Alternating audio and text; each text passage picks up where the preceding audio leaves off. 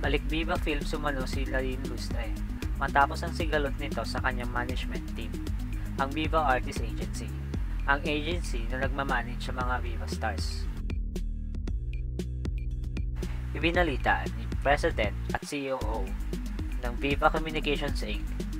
na si Boss Vic De Rosario naghahanap na sila ng project pelikula na may pipresenta kay Nadine Lustre.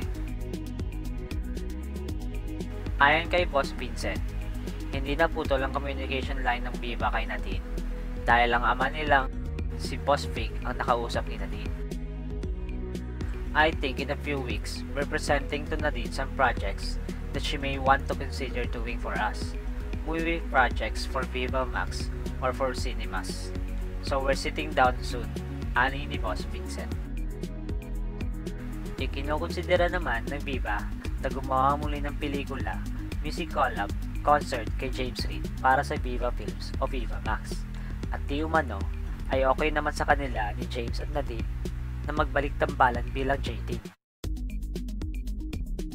I'm sure, within the year, we will be announcing projects with her. And hopefully beyond that, even James as couple or individually. Aniya pa.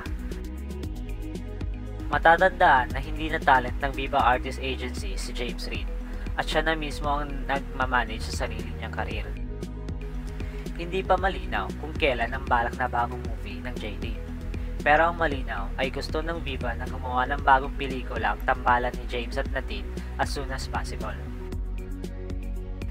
Kung kayo ang tatanungin, gusto niyo pa rin ba mapanood ang tambalan ng JD? Excited rin ba kayo sa nalalapit na project ni Nadine? Abangan natin.